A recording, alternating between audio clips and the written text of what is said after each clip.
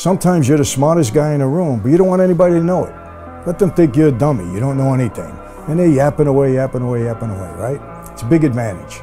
There's other times when you're not the smartest guy in the room. But if you keep your mouth shut, nobody knows that. They don't know it. So you let them talk, commit themselves. By the time they're finished, then you can become the smartest guy in the room because they told you everything. You know?